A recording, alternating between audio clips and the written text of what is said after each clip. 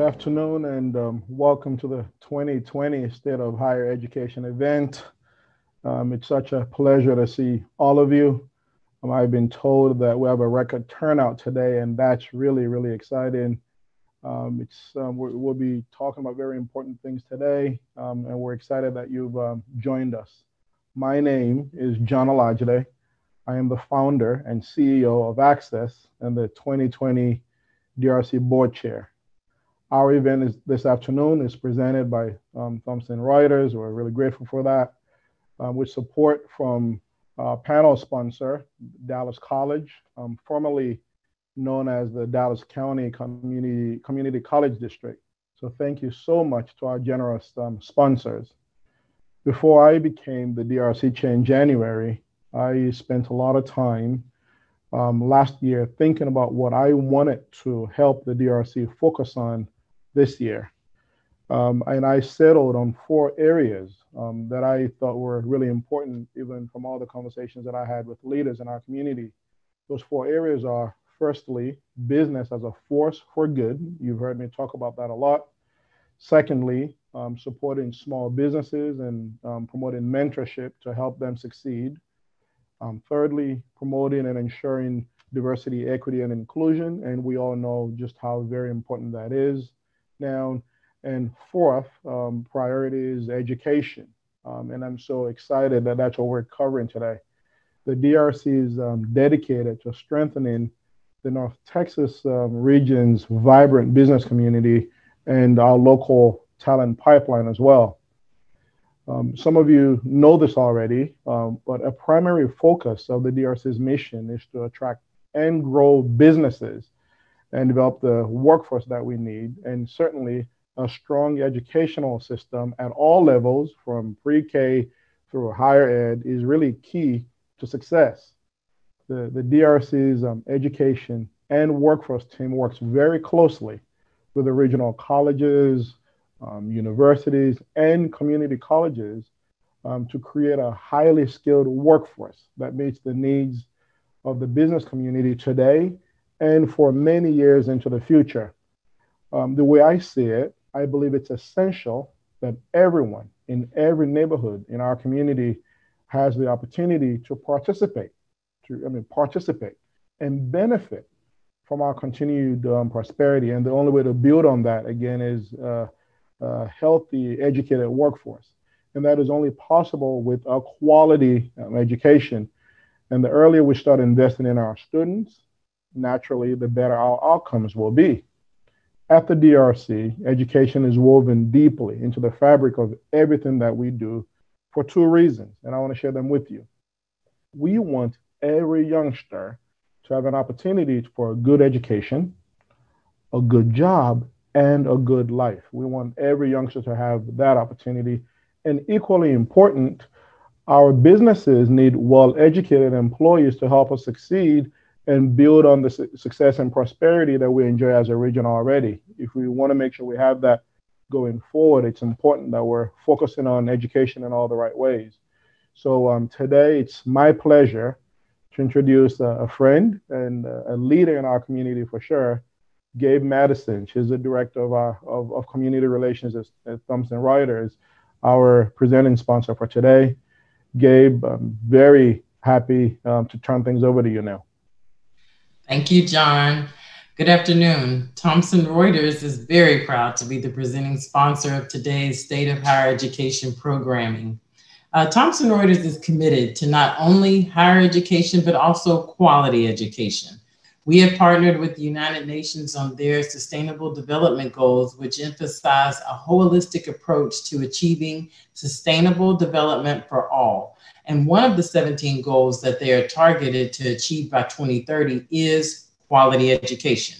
Some of the targets under the quality education goal that Thomson Reuters has a focus on to provide impact within our organization and the communities are ensuring equal access for all women and men to affordable and quality technical and vocational education, including university also, substantially increasing the number of youth and adults who have relevant skills, including technical and vocational skills for employment, livable wage jobs and entrepreneurship. And last, eliminating gender disparities in education and ensuring equal access to all levels of education and vocational training for, for the vulnerable, including people with disabilities, indigenous people, and children in vulnerable situations. That's why we are partnering with various initiatives in the DFW community to make this goal a reality. And why being a sponsor today for the DRC State of Higher Education aligns with our goals. We appreciate all the DRC is doing to make our community in North Texas one that not only meets these goals, but exceeds it. And with that, Thomson Reuters is also proud to sponsor the new DRC publication called the DFW Higher Education Review. It's a detailed publication showcasing how the Dallas region is number one for higher education in the state and the intellectual capital of Texas. This new publication was created in partnership with the regional colleges and universities and is available on the DRC website, which is dallaschamber.org slash higher education. Today, we're going to hear from the Texas Commissioner for Higher Education, Dr. Harrison Keller, for a fireside chat. The Commissioner and I will be discussing the current climate for higher education, how higher education is preparing adequate talent for our businesses, and his focus areas to drive innovations in Texas higher education. So let's talk about the format for today. So, following Commissioner Keller and my fireside chat, we will be joined by a distinguished panel of Dallas Regional higher education leaders for a discussion sponsored by Dallas College. In addition to Dr. Keller, the panel will include Dr. Carine Feyten, Chancellor and President of Texas Women's University, Dr. Teik Lim, Interim President of UT Arlington, Dr. Joe May, Chancellor of Dallas College, and State Representative Chris Turner, who is also the chairman of the House Higher Education Committee. That panel will be moderated by Rudy Bush of the Dallas Morning News. We are really looking forward to hearing from all of our speakers today. Please use the chat function at the bottom of your screen to submit any questions during the panel discussion, and we will try to answer them at some point in time. We'll wrap up with Q&A and be finished by promptly 1.30. So now it's my pleasure to introduce our distinguished guest of honor, Dr. Harrison Keller. Dr. Keller is the sixth commissioner of higher education and chief executive officer for the Texas Higher Education Coordinating Board, effective this past October 2019. He is a sixth generation Texan with more than two decades of experience in educational budget and policy, digital learning, senior university administration, management, and fundraising. He is also well versed on building effective coalitions among school districts, community colleges, universities, systems, and policymakers.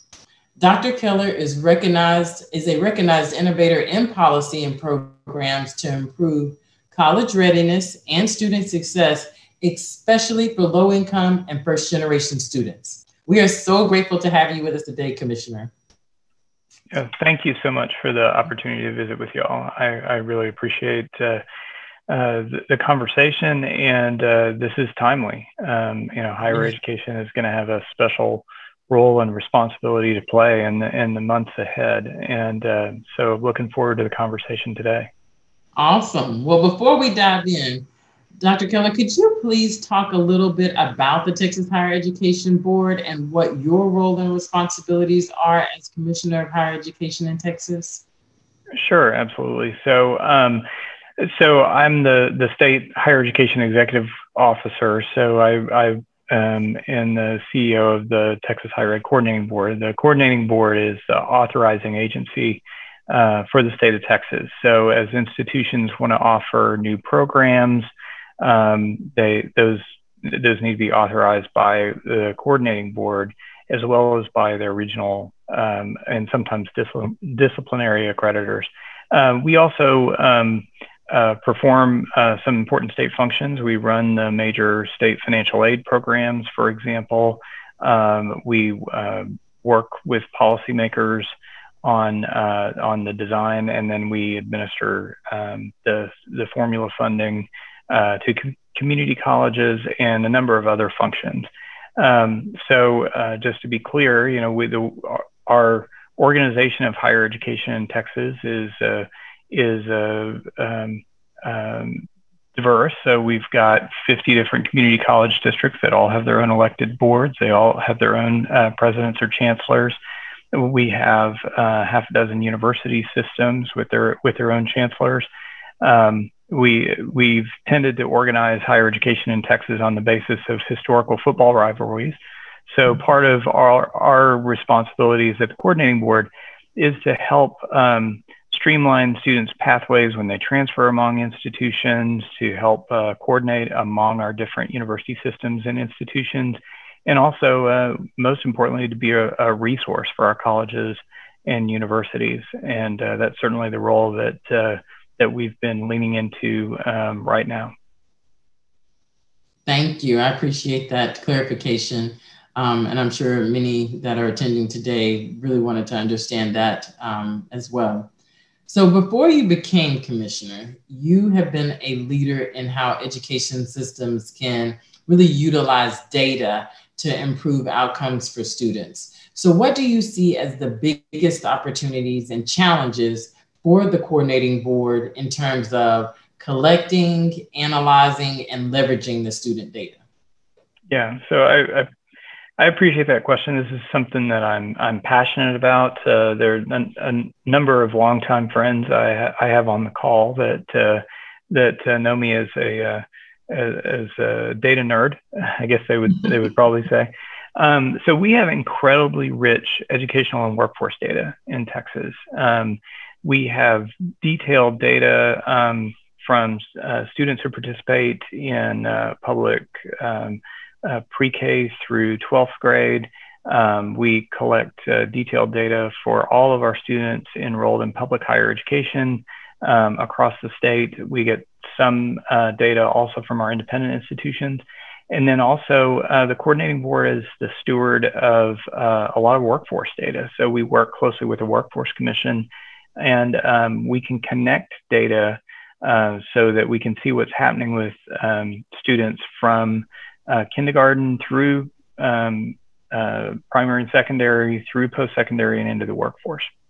Now, um, I think um, we've mostly used that data uh, for compliance reporting um, to respond to ad hoc requests from legislators um, or, um, or for particular projects or to facilitate research. So there's um, three state education research centers. So in a um, earlier phase of my career, one of the things I had the opportunity to work on, and I'm very proud of the work that we did to set up a network of education research centers. There's one at UT Dallas, uh, one at UT Austin, and uh, one at University of Houston. And that uh, th- those are set up so that researchers can work with de-identified data and do uh, sort of deep dive educational research. But that, as, as the folks who are in your audience today um, would would point out, that's different from using data to be able to provide ex- actionable intelligence to inform decision making. So mm-hmm. one of the things that's a high priority for me as commissioner, and uh, we've already uh, we're already making strides. We've already uh, launched some work on is um, uh, setting up a more modern um, educational and workforce data infrastructure for the state where the primary focus needs to be on helping people make decisions, whether we're talking students and families, institutional leaders, uh, folks uh, like at the DRC work on um, uh, regional economic development, or of course our policymakers. And um, so we've we've actually just announced a project that has launched in the last couple of weeks, uh, where we'll be working closely with institutions, with policymakers, other stakeholders um, so that uh, we can we can set up a new infrastructure. That's become even more urgent now because we need to better understand who's been most heavily impacted by COVID-19. Um, what are going to be the best and most efficient uh, reskilling pathways? Uh, we've got a lot of folks who are going to need to reskill to be able to get back on their feet and get back into the economy. So, uh, so this is a high priority for us this year and uh, going forward. Awesome. Happy to hear that and interested to see how this new initiative progresses, um, especially with results from COVID 19. Um, so, Thomson Reuters and the DRC are really fierce advocates for higher education and connecting the role of our institutions and how that plays in K through 12 and workforce development.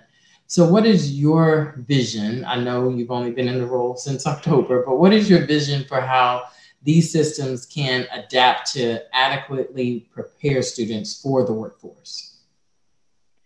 Yeah, uh, this certainly isn't the job I expected uh, last October. That seems like a long time ago right now. Um, but some of the things that I talked about when I stepped into the role um, seem even more urgent now. So, for example, you know, we've we've defined our higher education goals, uh, which are which are summarized in a plan called 60 by 30, um, as primarily being around getting 60% of our younger working population, so ages 25 to 34, to um, have some sort of post-secondary credential by 2030.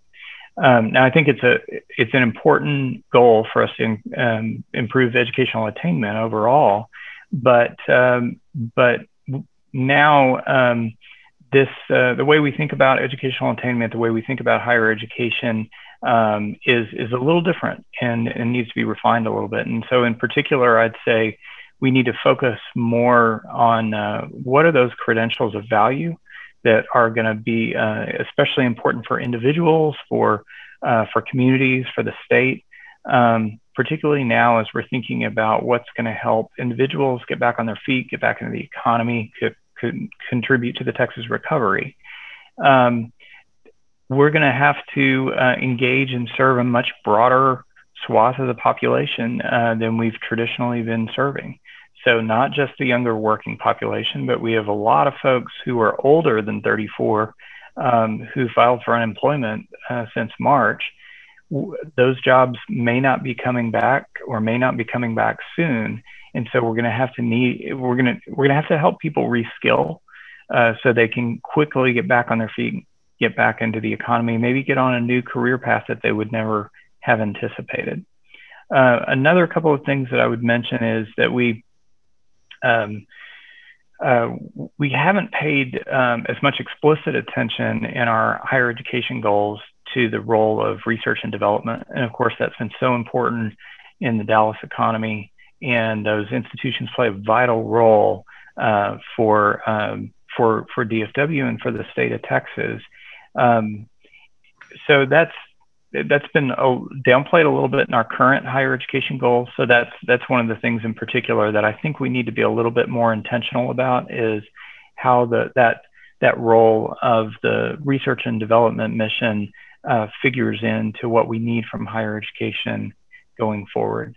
And uh, and then the last thing I'd point out is that I think I think this is a time when um, it would be a mistake for us just to um, try to hunker down and focus on navigating these immediate challenges. So um, what we see in in our daily lives, what we see in our institutions, including our higher ed institutions, what we see in the economy, is that uh, is that economic disruptions are a time when you, that you can accelerate the pace of innovation, and so that's going to also be a high priority for me uh, over these next um, several months and, and into the future is working with our institutions, working with our policymakers, so we have a better platform to accelerate the pace of innovation in higher education.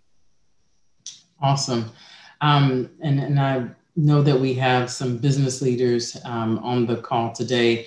So, in particular, to what they're maybe thinking is how will um, organizations or, or committees like the Education Higher Education Board work with business leaders or business um, or entrepreneurs in the area to try to see what are those needed skill sets? What are the things that the businesses are in need of that we have a lack thereof in the state of Texas? Yeah, so that's uh, um, that's something that uh, we're we're already um, laying groundwork for, and uh, looking forward to working closely uh, with employers uh, with groups like the, the, the DRC as well as um, as your uh, your counterparts and other um, communities across Texas. Um, again, I'd, I'd, emphasize the actionable intelligence. Um, so we we know that we've had more than three million uh, Texans file for unemployment um, since March, and um, as I mentioned before, many of those jobs are not coming back, or they're not coming back quickly. So um, we are going to be commissioning some work and also setting up uh, some new tools as part of this new data infrastructure, so we can have a better sense of well, what do we what do we know about these individuals? What do we know about their skills? Um, and then what do we know about the kinds of occupations, the kinds of skills that are going to be especially important for driving economic recovery and that are aligned with um, what's um, not just feasible for the short term, but strategic uh, for our communities and, and for our state. And we need to be able to reflect that information back to help inform uh, the deliberations uh, with employers, with these, um, and, and, and folks like yourself, um, but also for the institutions. So there are some fields uh, where institutions have pretty sophisticated feedback mechanisms that work uh, that, that generally work very well. So in accounting, in uh, engineering fields, in uh, I'd, I'd, also say in architecture and, and in the performing arts. Um, there are fairly sophisticated feedback mechanisms and advisory groups, and students are they have opportunities to do internships while they're part of their program or to do other kinds of practicums and get have juries and that kind of thing so that so that graduates um, know and can be, can be confident employers know that the kinds of skills that students have developed are immediately going to be relevant to what they're asked to do. Um, we need to do a lot better across the board of helping to provide that kind of information and feedback uh, to institutions as they're thinking about program development and design, and uh, and also for students and families, so that, uh, that they can they can make more informed choices. Totally agree, and I appreciate you addressing that, uh, Dr. Keller.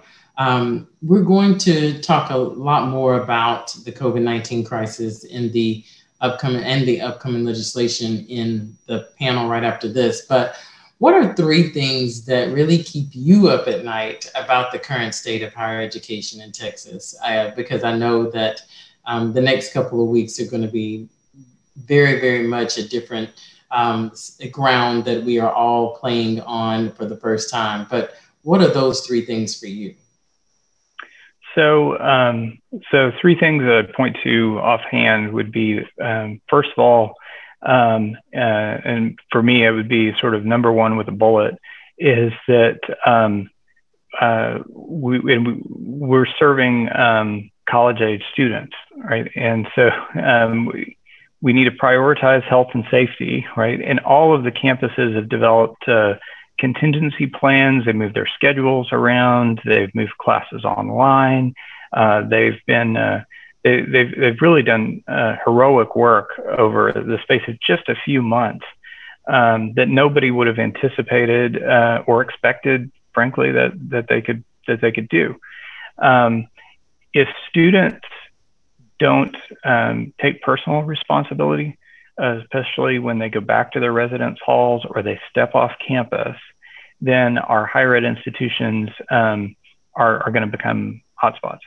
Um, so it's so so number one that I worry about, and and uh, my my niece is going off to be a freshman right now, so I can you know uh, this is, resonates uh, uh, for me at a personal level is um, you know so how do we how do we promote health and safety um, uh, across multiple dimensions for our students, um, so that uh, we're, we're going to be able to um, operate the campuses and keep the students safe and be able to uh, provide the kind of um, education uh, that the that the students deserve. So uh, that's that's number one that I would point to. Uh, the the second one is that our our presidents. Uh, we were talking uh, before in the breakout rooms about it's a tough time to be a college president. Mm-hmm. Um, the kind of policy context that they operate in, whether we're talking about accreditation or federal policy or state policy or even their local institutional policies, didn't anticipate this kind of environment. and they assume traditional modes of delivery.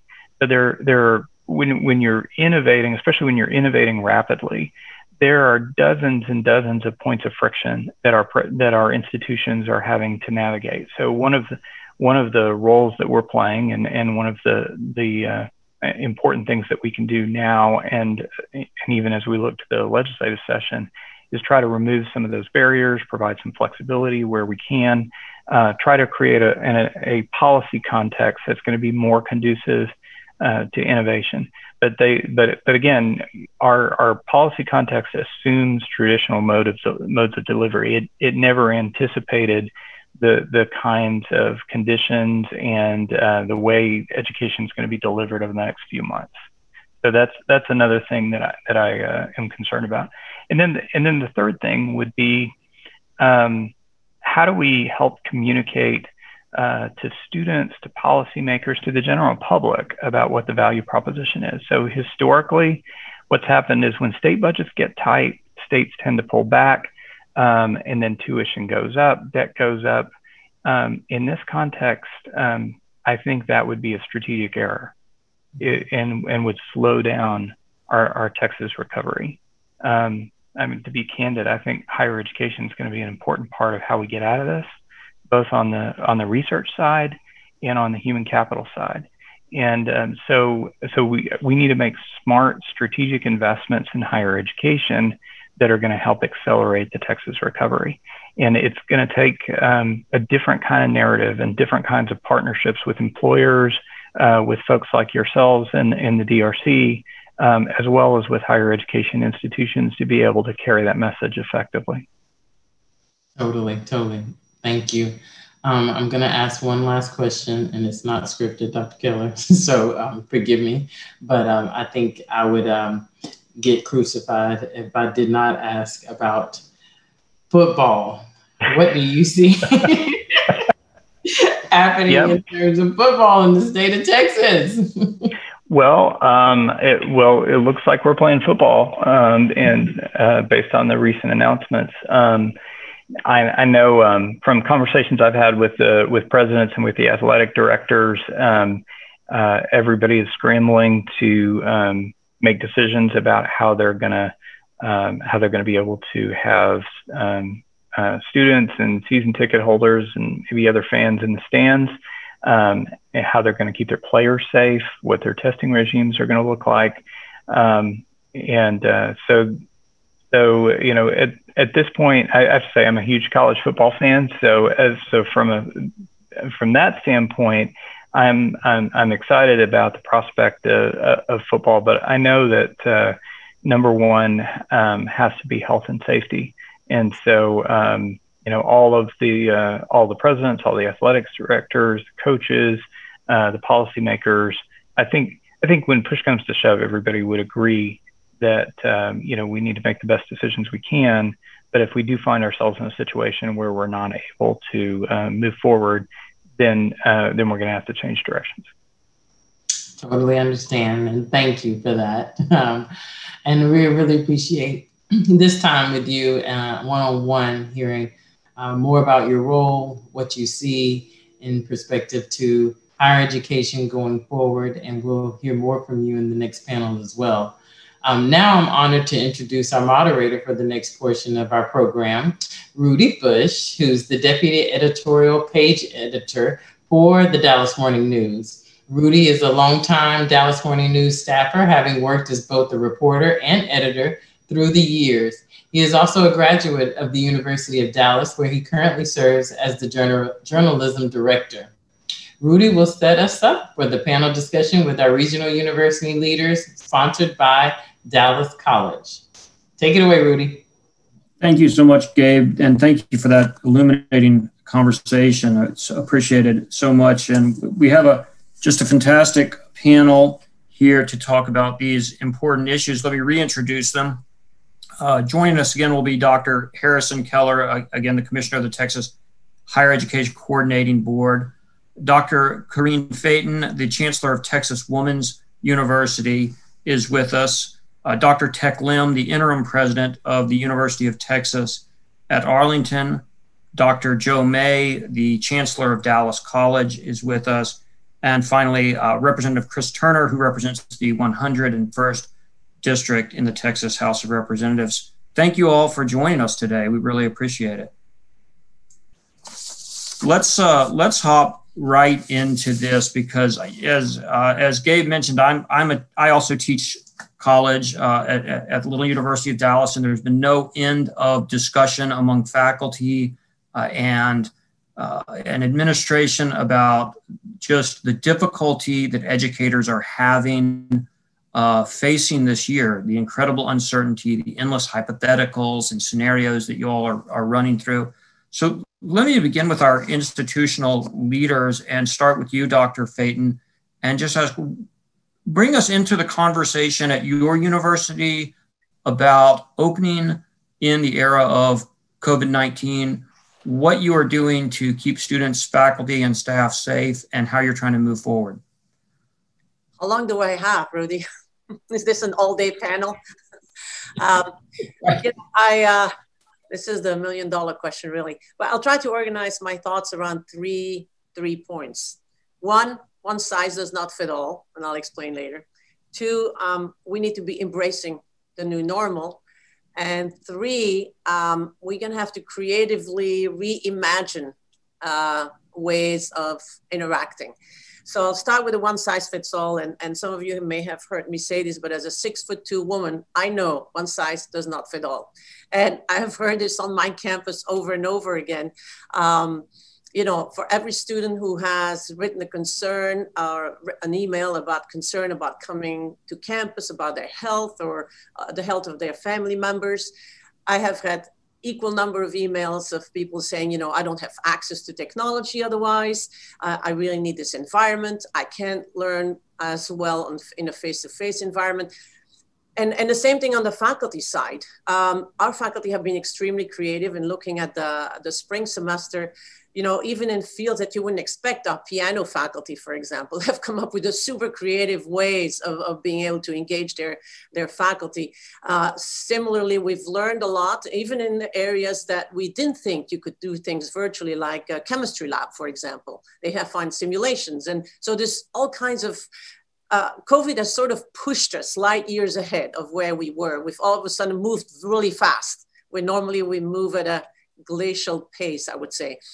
Um, but yet, uh, there are certain things like in the fields of nursing, OT, PT, it's hard to learn how to suture or, or do things like that virtually, right? So there's some areas that we really do still need to have that face-to-face uh, engagement. So what we are doing is we are trying to, is I keep on saying, stay fluid um, and um, really having about right now about 40% of our classes will have some face-to-face component um, but at the same time, they will be able to pivot at any time. If something, if somebody in the class happens to have uh, come down with symptoms, or you know, we may have to take that class online, then they may have to pivot back. So instead of choosing a specific timeline of when we will go online, we decided to stay more fluid and uh, depending on the situation in each class, um, take it online or bring back. We are reducing all of our uh, meetings, um, avoiding any kind of events and meetings, but taking those online.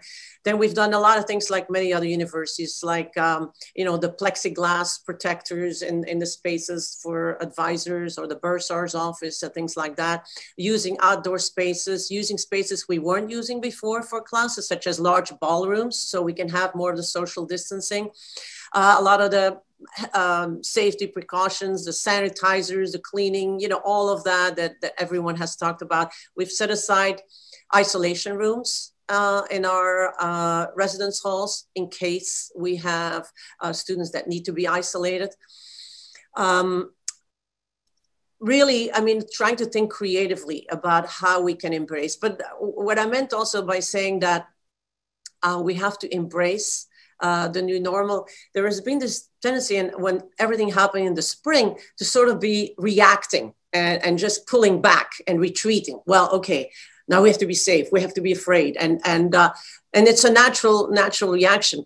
But at some point, um, I think it's upon us to really embrace the new normal and say, okay, how are we going to navigate? It's not going to be, it's not going to be gone tomorrow, probably not in two months. So how do we navigate a very different kind of environment? How can we creatively do this? And how can we embrace it in the sense that you really um, take it on full speed as opposed to tentatively always hesitating back and forth. Um, so I'm a cyclist and, and I know that when I take on a hill, it's a lot easier when you really give it with gusto. You push into it as opposed to suffer the hill you know? And i, I see this somehow the same way uh, in in in this regard. Um, so I, I, I think i'm optimistic that um, our faculty have been extremely creative. And um, so I'm optimistic that we will find ways to do this differently. And we've talked before about the benefits that we've even learned from COVID, how even these kinds of meetings, uh, largest attendance ever. Uh, so there's definitely benefits. There's downsides, no doubt. Um, but you know, how can we capitalize on that? I think is really um, what we're looking at. So right. Dr. Lim, let, let, let me put the same question to you, but ask, was there ever any doubt that there would need to be some face-to-face learning mechanism even through pandemic? And you're muted. Never, never learned my lessons and unmuting myself. Thank you. We, we all do it. Yeah. Uh, no, there are programs uh, that and courses that have to be done face to face. You know, I think uh, first of all, let me just say this: ditto to everything that Carine say. Uh, uh, so, but uh, going back to uh, your question here, the the pandemic actually uh, have accelerated us to the point that I feel would be the normal down the road. you know, universities will have to embrace uh, both face-to-face, um, remote digital learning, and what I call e-learning. I think, for example, a classroom uh, in a few years will be a thing of the past, just like chalkboard, because um, you know the classroom where people sit um, listening to a, lecture is probably not something that uh, is uh, inducive in terms of uh, learning. So, but I think residential life uh, on campus will still be alive and well because uh, campus would be a place of engagement, of collaboration. Instead of classroom, we'll have more uh, collaborative space, engagement space. Uh, students still want to come to campus to engage scholars, to engage faculty, to uh, build lifelong friendship and uh, business partners. So that's still going to be alive and well, but it will be augmented by a whole host of, of technology. So one of the things that we're doing on campus at UT Arlington is to really upgrade our facility uh, in preparation for what I call a new e-learning, e-learning environment, uh, whether it's for students uh, across Texas, across the nation, or for students who come to campus to get some kind of experience. So uh, it, it, to sum it up just nicely is that the university, uh, like a corporation, footprint, okay, is not just going to be, for example, in UT Arlington, is not just going to be at UT Arlington, at Arlington. It's going to be, you know, uh, across Texas, across the nation, in, in addition to being at UT Arlington. Thanks. Dr. May, obviously you serve a, a large number of students. They, they, many of them don't have any sort of uh, option to not go to work, to not be in circumstances where they, they may have a greater possibility of exposure than, say, a student who uh, responsibly goes from dorm to classroom. Talk a little bit about Dallas College's approach and and maybe bring us up to speed on where you felt like you were uh, in e-learning as you got into this.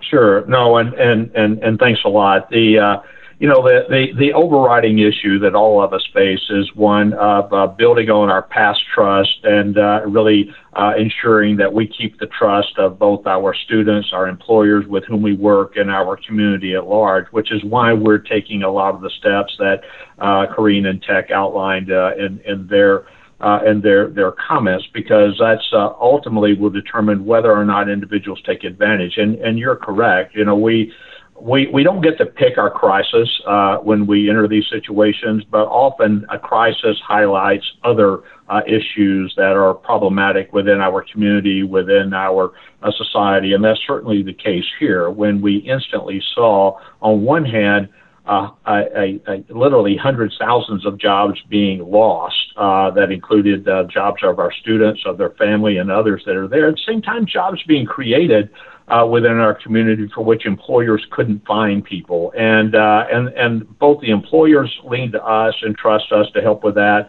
and the students trust us to help them navigate uh, a, a, system that is, uh, because of their background, uh, very, very foreign to them. And, and, and you're correct. Our students do not have the option of selecting out of opting out of work. Uh, and, uh, and, and many of them are Uh, uh, students that uh, are, are, in some of the higher risk areas. while they're going to school, they may be working construction or they may be engaged in and retail operations.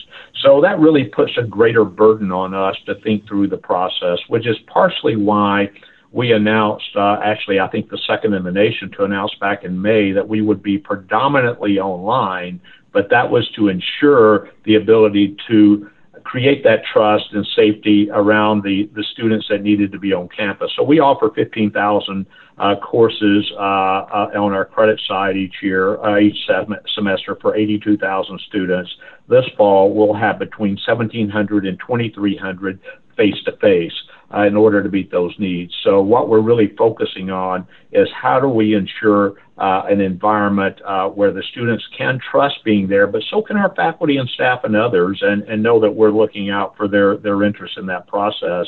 And, and that really is, is, is about process and relationship uh, and uh, and working collaboratively uh, with uh, with with uh, both the employers, our employees, as well as as students going forward. And I believe we're going to be in that same dialogue uh, with the again a big part of that crisis is helping people get those jobs understanding there is inequity in terms of access to jobs, to employment, and others, and that while the crisis is about the pandemic, the reality, the impact of it is on the economy, uh, the ability to get and retain jobs, and to pursue an education leading to those good jobs. Thank you for that uh, response. Let me bring Dr. Uh, Keller and Representative Turner into this because I know both of you are thinking a lot about what the future needs are going to be of institutions of higher learning because you're probably hearing from a lot of educators. Uh, and let me start with Dr. Keller and say, how are you framing your thinking around addressing future needs in the light of uh, the expansion of e-learning, uh, the, the, the need for uh, accommodations that may not be traditional, uh, and then and then turn it to, to Representative Turner for a similar question. How are you framing your thinking?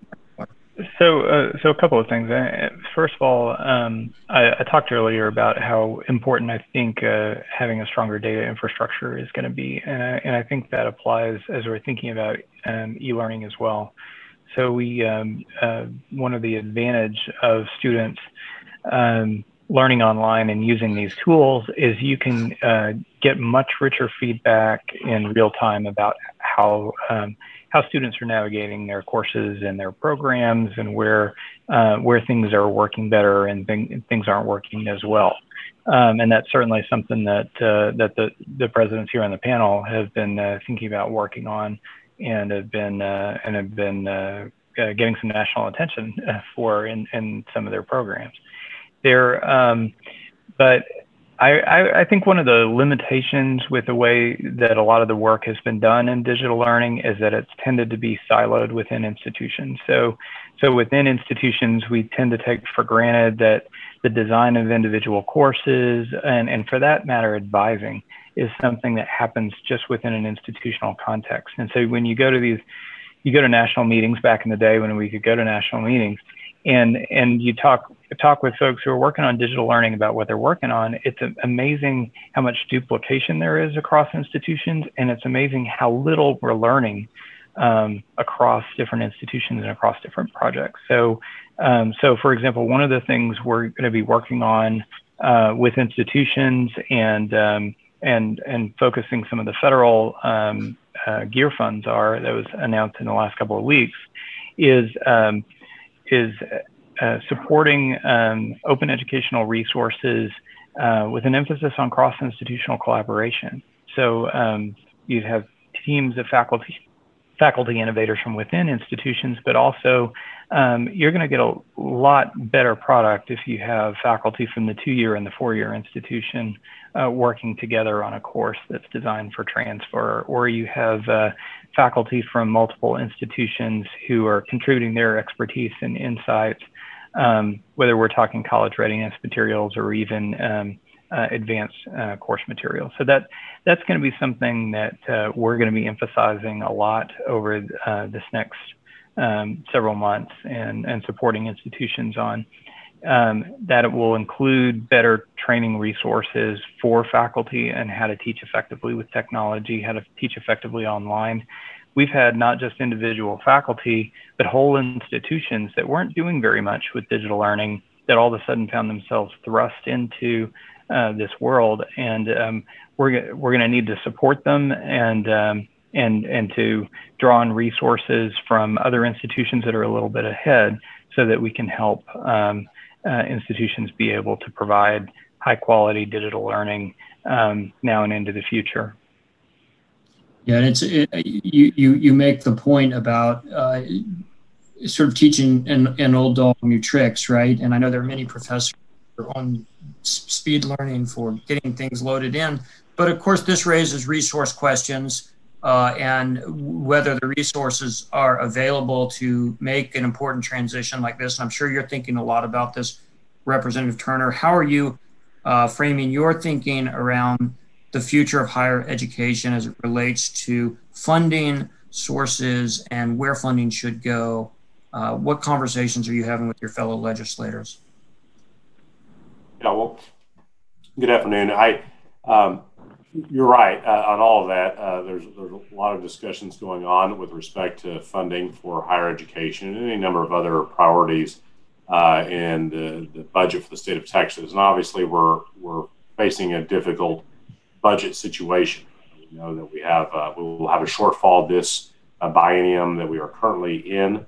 Uh, so the legislature will have to um, like they passed, we would have had to have passed a supplemental appropriations bill anyway, even before the pandemic next session. Um, uh, and we certainly will now because of the shortfall for this biennium just to finish out this budget, which runs, of course, through next August 31st. Um, that's not to even speak of the following biennium, uh, which will begin September 1st of 2021. And uh, we, we expect you know, significant challenges. Uh, oil and gas severance tax collections are way down uh, because of uh, price of uh, oil plummeting earlier this year. And then our general revenue, which is fueled primarily by sales tax receipts, is way down as well for the year, although it was up last month, which was encouraging. but overall, it's going to be down, and we're going to see a significant revenue hit. Now, that doesn't, um, you know, who knows? Perhaps there's additional aid coming from Washington later this year or early next year potential uh, change in leadership there. Um, so there's a lot of variables, and hopefully some of those variables work in our favor um, because they haven't been working in our favor lately. Um, but I think the bottom line is this. Um, I agree with something Dr. Keller said a few minutes ago, which is that um, this is not the time uh, to withdraw or uh, in any way try to cut corners on higher education. Higher education uh, is essential to the uh, future of our state in terms of developing a uh, workforce that meets the needs of our modern economy. Um, it's essential to quality of life for our citizens, for, for 29 million Texans. And uh, it is the responsibility of the state of Texas, in my view, to ensure that we uh, make higher education opportunities available to our citizens, whether they are uh, graduating seniors from high school or uh, you know, so-called non-traditional students who perhaps are returning to college after an absence or starting college for the first time and, and well into their adulthood. Um, and whether that is in our four-year institutions or our two-year institutions like the excellent Dallas College or going into certain vocational programs, uh, we need to make those opportunities available. That, that's that's a key function of what the state of Texas should be doing. So how do we do that? I think that you know going to the, the difficult budget situation.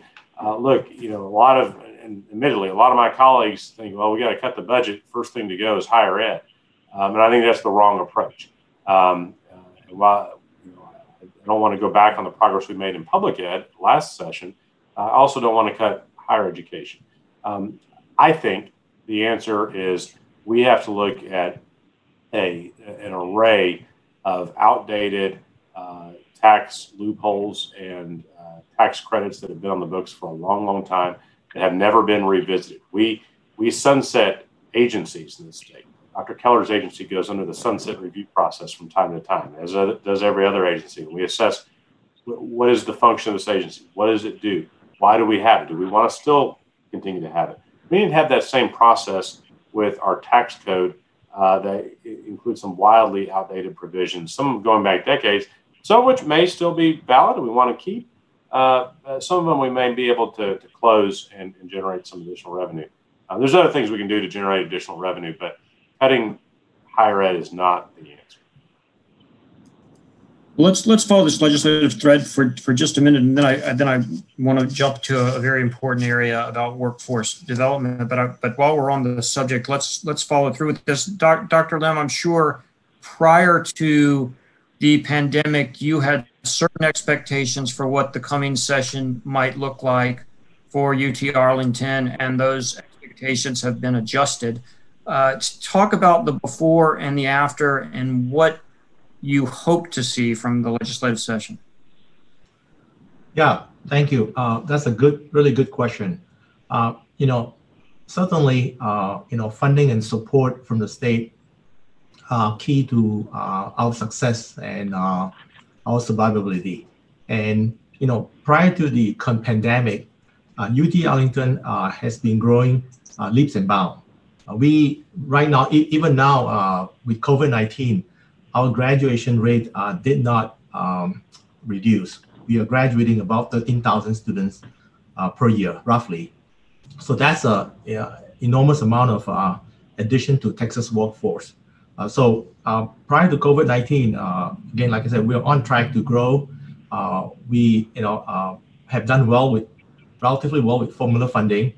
And um, at the same time, we are um, on the march to be a Texas Tier 1 institution. In fact, even with COVID-19, we are months away from being a, Texas Tier 1 designation. We're tracking the metrics, and I think we will make it uh, by the end of this month so, but with COVID nineteen, okay, uh, what uh, has happened, okay, is like everyone else, it, it it makes things a lot more challenging, but it really didn't detract uh, our goals. Uh, we stay on track.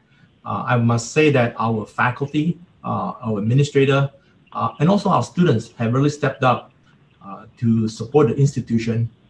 we are all in it together uh, we are focused on on three things really. We're focused on obviously getting through the pandemic successfully. Successfully means that students continue to uh, graduate, continue to learn, and continue to get what they want from the institution so that they can go out and be productive citizens of uh, Texas. Uh, second thing, okay, is we're continuing to uh, support our collective uh, vision of being a university of access and excellence that support both access and excellence equally. Um, and at the same time, okay, we want to be a great partner to the external, uh, to our, our, external partners, the corporation, uh, uh, nonprofit organization, and also our public official, our elected officials as well. So we want to be a great partner for that. And those, all those continue to move on. So I, I must say that even though the pandemic is challenging, we're staying focused. Uh, I think we, we are so far are doing reasonably well in my mind, our enrollment has not tanked. Uh, in fact, summer enrollment has uh, skyrocketed. Uh, fall, we're tracking slightly ahead. Uh, I, I think that will be up once uh, census date come in the fall semester.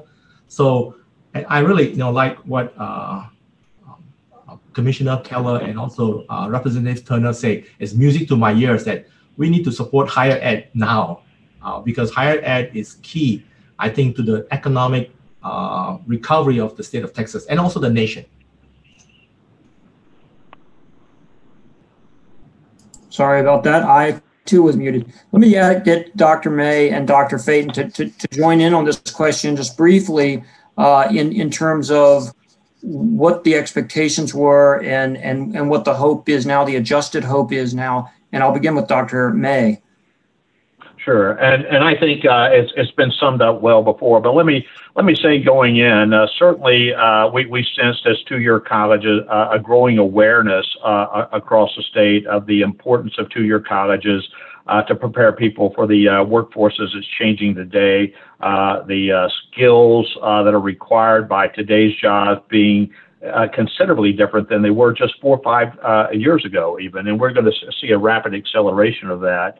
And I, I, I think as as we look at it, particularly uh, from uh, from Dallas, I think it was articulated well. I you know I, I get concerned that in times of tight budget, we uh, uh, that that many policymakers stop looking at us as a resource, but see us as a cost and expense at, at that uh, at point. Nothing else has really changed in terms of what we do, uh, but but yet I think the lens at which we're we're, we're viewed uh, has changed because of the uh, external uh, challenges of, of, budget and, uh, and and funding. And yet at the local level, we're still counted on to be that resource.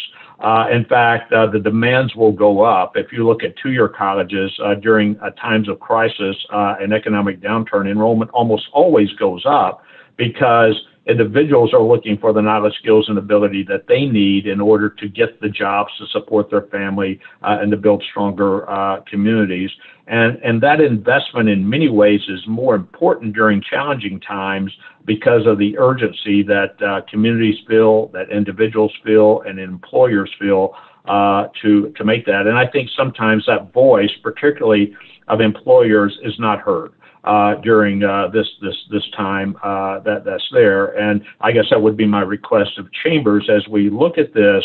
Don't assume everyone is looking out for the uh, for the interest of the uh, uh, either the employers or individual employees as as we get there. And and I think things get left off the off the radar while you know in this issue. I, I will say going into uh, here in a few days, uh, we'll approve a budget for uh, FY21 that uh, will be 40 million less for us than it was going to be on February 1st uh, of, of, this year as a result. That's not state funding. Our, our, total state funding is only 95 million. So when we look at the impact of what, what's going on uh, at the at the local level, it, it is severe, meaning that we're we're going to already be doing more with less. Uh, uh, despite what happens at the broader policy level. So I appreciate the comments of the chairman uh, and the commissioner as well in, in the, these areas. Those numbers are eye-opening. Dr. Feyten, same question to you, the, the before and after uh, for your institution. Yeah, I, I couldn't agree more with uh, what uh, Teik and, and Joe have said, and, and, specifically music to my ear as well, what the commissioner and uh, Chairman Turner have said. And I feel like we're preaching to the choir. It seems like we're all on the same page. And I, maybe the challenge is this to me also is that higher education is a long-term investment. It's not a short-term, right? And, and so often we're trying to fix problems or immediate crisis with a short-term solution. And by doing that, you really hamstring yourself for the long term. And so I would go back to um, uh, something actually that Rob uh, Kaplan mentioned yesterday. Uh, Rob from the Dallas Federal Reserve Bank mentioned during his talk. Um, if you look at the population growth, and I think uh, Commissioner Keller said the same thing in the beginning, the, the growth of the population in Texas is absolutely staggering in people of color, Latinx, and Black populations. They were the ones most impacted by COVID 19. So that really positions higher ed a completely different position, a very challenging position. How we know that it's really important to bring them uh, that they would be successful, that they can contribute to the, to the economy, right? That is what's going to make our economy better in the long run if we can really successfully engage them in the workforce. Um, we know that with higher productivity and higher workforce, we'll have a higher GDP, et cetera. You all know the formulas. Um, and, and really, we know that a highly educated workforce is what will help with this growth. Um, yet at the same time, they are the ones that are economically impacted. So as an institution of higher ed, one, the issue, a big issue is who has access and how do we bring them into the institutions? While we've had our budget cuts and those populations need more support, a different kind of learning environment that we need to, a richer learning environment to make sure that they get, that they are successful. And then that's not it, that's not finished then. At that point, we need to really transition with, with the employers to make sure that they, they get experiences, they have internships, which they cannot afford unpaid internships, we all know. So how do we put those things in place so that they can have internships and then that they can enter the workforce, but and also have opportunities to be promoted at higher levels. We know it's important to have a leadership base. And, and if those are the populations who are going to be leading Texas very soon already, I'm at, at my institution, you know, I, I mean, we're 60% uh, minority. Uh, it's a minority majority institution. Uh, and, and, it's going to be the same at, at, the nation. Texas leads the nation. So we really need to keep that in mind. And I think that's that's a huge challenge. How do we how do we deal with that? in an environment that has cut our budgets. Um, and the other thing I would say that that um, a big issue for higher ed is um, the propagation of misinformation. I feel like higher ed also helps develop critical skills, and I think today that is more needed than ever. Um, and and to really um, educate and arm people with uh, critical skills when being able to to make critical decisions about information to to, to be able to make judgments um, and and that's going to be i think a really important sort of a you know we talk about herd immunity in the covid times and i'm thinking about herd immunity to misinformation that seems like another big mission and challenge for higher ed and for me uh, and and my and my little institution. Uh, I feel like you were reading my notes, Dr. Feyten, because you you anticipated what is probably the most important question of this panel, despite the thing that's foremost on on a lot of our minds, which is this pandemic. But that but that is getting to uh, a, a workforce education that can impact communities of color, oppressed communities, communities that have not had opportunities uh, come to them in our society uh, necessarily in the way they should. So these statistics are provided to me by my friends at the chamber. Uh, they say the demographics are, of Texas uh, are projected uh, that over 30, uh, excuse me, 63% of the workforce being Latinx or African American by 2030. 60% of jobs by 2030 will require some form of post secondary credential. I don't think those numbers will surprise any of us who follow these things. Dr. May, let me start with you and then go to Dr. Lim and talk about the planning for these communities and making sure the workforce is ready. Yeah, and and uh, and Kevin, something I said a few moments ago, we don't get to pick our crisis, and we uh, we certainly uh, didn't in this case with the pandemic. But what the this crisis does uh, is what every crisis does, and uh, and and uh, shines a light on our most vulnerable, those individuals that are highest at risk being left behind, those at which we we we really don't think about often how essential they are to the future of Dallas, to the future of North Texas, the future of the state of Texas. Uh, and uh, and and that's exactly the population that you just outlined. You know, as as uh, as we look at this, we we realize that immediately uh, we focused on the lack of equity to access to technology that was going to leave large portions of our community behind. It's exactly uh, the people of color that you described, the African Americans, the uh, Latinx populations, uh, those that it's not that they uh, uh, on paper we that they don't have access to broadband, it's they that can't afford access to broadband, and they're they're literally living from paycheck to paycheck. Uh, as I said earlier, our students have to work in order to go to school.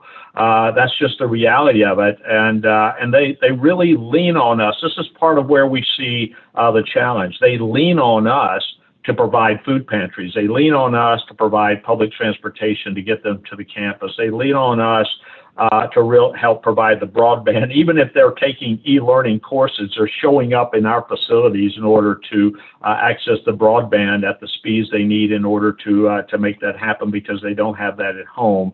And uh, and I think what we what we all really need to come together around that this is not a higher ed problem. This is a community problem. Uh, and uh, and if we really are focused on this population as being a part of the workforce, we have to treat access uh, as a uh, as an equity issue, not not just for us, but all the way back as our good friends in K-12 have done so well of uh, communicating the barriers that they're facing uh, in this. But that does not end because a student graduated from high school and turned 18 or 19. If they were hungry a year ago, they're still hungry today. If uh, they didn't have transportation a year ago, they still don't have transportation. If they don't have broadband, they're probably even less likely uh, to have broadband uh, than they than they were before.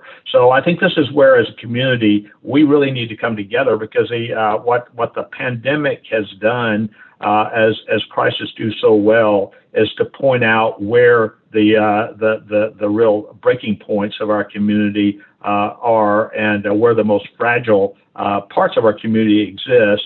And that we we we pay attention to it now. Hopefully, we won't forget that as we move out of the pandemic going for, forward and things return to normal. Dr. Lim, your thoughts Yes. Uh, well, first of all, uh, I do agree with what Joe May had said. Uh, without repeating him, let me just kind of frame it in a way that how we deal with this uh, and, and in our little ways contribute to this uh, solution uh, from the UT Arlington perspective. As I mentioned earlier, we have three priorities at UT Arlington. The second one that I mentioned just now was that we want to continue the momentum of our collective vision of supporting both access and excellence equally. So that means that uh, we really welcome students of all demographics uh, on our campus and we're committing to provide all of them with the quality education that they aspire to achieve or obtain.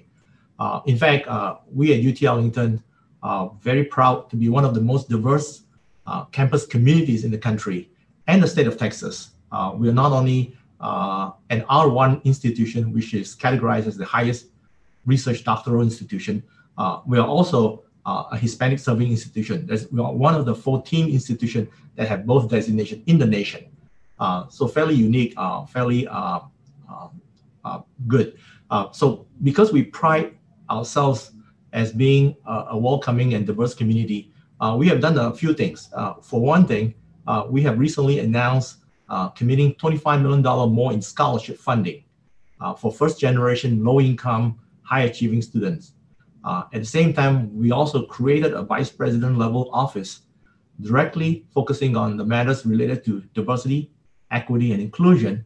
Uh, and in this office, okay, would be able to really help uh, our diverse student body be more successful uh, when they arrive on campus, uh, whether they arrive in person or virtually, because we do have uh, a number of students that, that pursue a degree from UT Arlington that are remote. they are taking courses from around the state or around the country.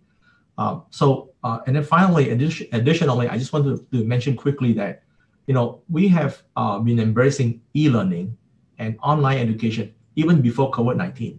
Uh, this goes back to uh, former President Spagnuolo time that we had em em uh, embarked on this journey to really introduce digital technology, digital learning to UT Arlington. And um, you know, I, I assume that maybe uh, President Spagnuolo had his, his crystal ball. He knew that maybe pandemic was coming in uh, 2020. Uh, but you know, having that that capability, that strength, really allows us to pivot uh, our courses, especially our face-to-face courses, online overnight, swiftly, without a problem. I mentioned this to our faculty. We did not even have a tricycle ride. Uh, everything went really, really smoothly. And uh, and because of this uh, strength, okay, uh, we were able to continue to expand our educational footprint beyond the Metroplex uh, throughout state of Texas and also the nation. And I think this has to be able to significantly bolster, you know, our Texas workforce. Thank you for that. So, so, that that's the end of my questions, but we have a number of very good questions from the audience. We won't be able to get to all of them. We just have about 10 minutes left. Uh, I actually will field the first question, uh, and then the panel can disagree with me if I'm wrong. Uh, but the question is, uh, most universities are offering online, hybrid, and in-person classes uh, this fall. Will that continue post-COVID? I feel like the answer to that is absolutely, without a doubt. So uh, the next question is for, thank you very much. Once in a while, I get it, get it right. The next question is for Commissioner Keller, and this is a, a really smart question. Could you share your assessment of whether higher ed can expect additional support from the federal government? And could you provide an update on uh, the governor's emergency education relief funds? Sure, absolutely. Um, um, I um, I'm watching these conversations in Washington closely. We're monitoring them closely. Um, so we're encouraged by some of the proposals that are on the table. Um, of course, our institutions have suffered significant um, cost increases, but also the collapse of multiple revenue streams over the last several months. And uh, where they, they did uh, get some important uh, funding uh, from the CARES Act, uh, half of that funding was earmarked for direct uh, emergency student aid for students. And then from the other half, um, that didn't uh, begin to cover all those additional costs of the kinds of uh, services and modifications that uh, y'all heard about uh, so far. So um, the proposals being discussed do include some additional funding for higher education, including some additional flexibility um, uh, in in using some of those funds uh, through the governors and and um, so I, I wish I I wish I knew when this would come together and um, what it would look like but I'm but I'm hopeful that higher education and also state and local governments uh, would get some additional uh, support from the federal government.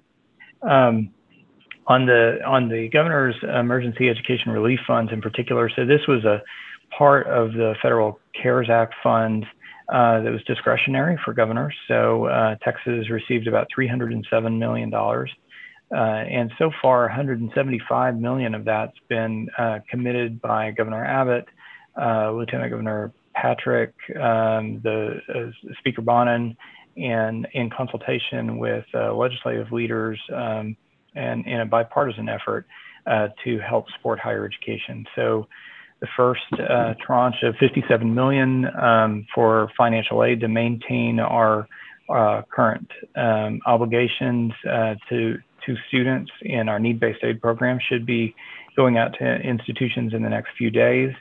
Then there'll be um, about uh, $46.5 million in additional emergency aid funding for students who've been substantially impacted uh, by COVID-19 that will also be going out to institutions we anticipate in the next several days um, because we want to make sure that that's going to be available to institutions to deploy in the fall.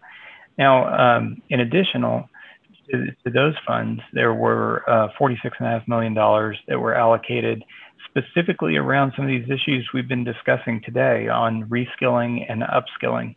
And so we'll be working in consultation with employers and institutions over the next uh, couple of weeks on what the parameters are for that so we can deploy those dollars quickly to help support uh, folks in, in uh, completing um, uh, credentials. We've got a large number of uh, folks in Texas who've got some college and no credential, but they're in striking distance.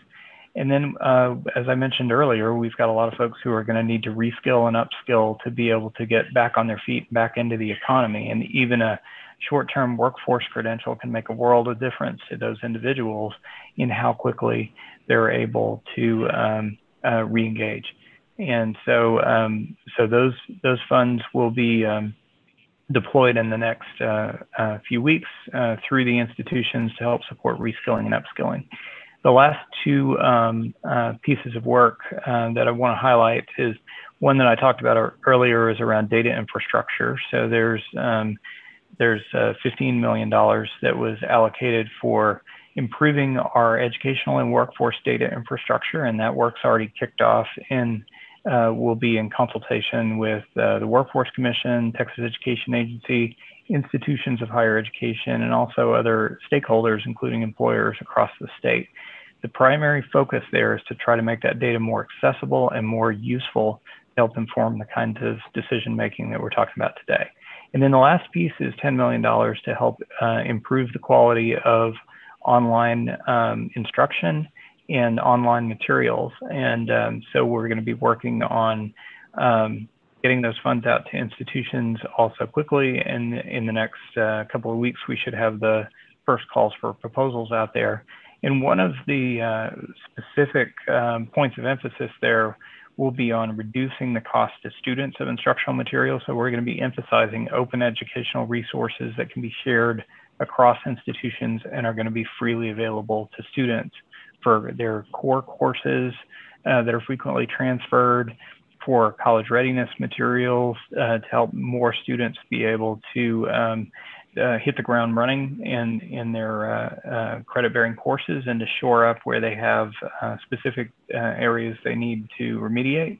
And then uh, the third strand of work will be around workforce education, and including those kind of short term workforce credential programs that are going to be so important for helping drive this recovery. Perfect. Well, that actually dovetails nicely into the, the next question, which I feel like is best uh, directed to Dr. May. Uh, and and it, it, reads, can you speak to improving the transfer of community college courses and programs to universities in order to reduce student debt, loss of credits, and accelerate entry into the workforce?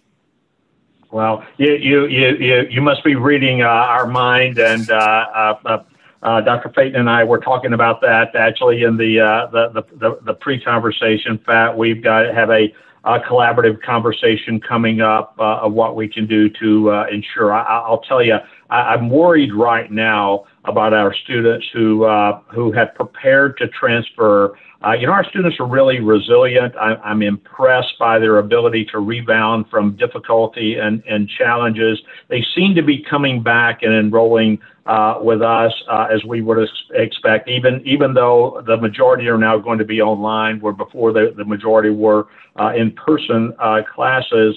But we are in some cases seeing students who had prepared to transfer not take that step. Uh, and and that that that's of great concern to me because that means that we won't be uh, you know we, we we you laid out earlier in your question what's going on and what are the needs of the area. Well and all it takes is one year to be a real setback if we're not producing the credentials whether it be uh, certifications degrees uh, at the two year level or four year level. Uh, so we have been working collaboratively uh, in the North Texas area and we're, we're going to continue to work and, and focus on that because it's not uh, situation where we can do this alone as community college. Uh, you know, everything we do is in partnership with uh, with others, and uh, you know, fortunate with both Carine and, and uh, Teik to have great colleagues that care about uh, the same thing. And and I will I will tell you. as those who, who are involved here today, and, and Commissioner, I know there are other areas of the state, and, and Chairman Turner, but I really think the people of, of North Texas have it more fortunate than other areas because we do have uh, institutional leaders that talk to each other on a, a, a weekly basis, if not more frequent, uh, that we're working uh, collaboratively on the same issues. And you just asked a question that's right at the top of the list uh, because, the, as you know, the problem uh, is that often no one owns handoffs and transitions. And what really we're working hard to do is to make sure that students don't make that journey alone, that we're all working together. Uh, so I'm really proud of the, uh, the partnerships and relationships and the fact that we're focused on the problems of looking collectively of how we can solve those. Well, that's terrific. Thank you so much. Uh, what an excellent conversation with people who are on the front lines of a really, really tough and challenging uh, circumstance now and, and into the future. I know we could go on, but we'll we'll leave it at that and say thank you. Uh, I'd like to turn over to Drexell Owusu, Senior Vice President of Education and Workforce for the Dallas Regional Chamber for some closing remarks. Thank you all very much. Rudy, I would love to say thank you to you for moderating a fantastic panel uh, I also want to say thank you to Commissioner Keller, uh, Ms. Madison, uh, as well as all of our fantastic panelists, Chairman Turner, uh, Chancellor Feyten, President Lim, and Chancellor May. uh, for uh, enlightening us, sharing your, your visions and passions for where we can go, uh, and most importantly, keeping our students and future workforce safe uh, and learning every day. I also want to thank our presenting sponsor, Thomson Reuters, as well as our pan panel sponsor, Dallas College. Um, both of these organizations have been tireless advocates for the great potential of all of Dallas's students uh, and we look forward to working closely with them in the future uh, to support educational and economic opportunities for all. Uh, for all of our guests today, uh, I hope you had a chance to learn more about higher education in North Texas and across the state. Uh, the DRC is incredibly proud of the robust and high quality uh, higher education institutions in our region.